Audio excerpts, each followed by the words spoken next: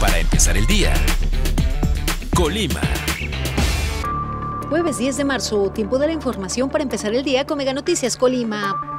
Por violencia, taxistas disminuyeron horas de trabajo y usuarios viven momentos de riesgo. Colimenses afirman que la inseguridad prevalece pese a la llegada de fuerzas militares.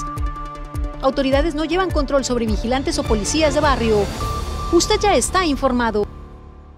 Para empezar el día. Colima.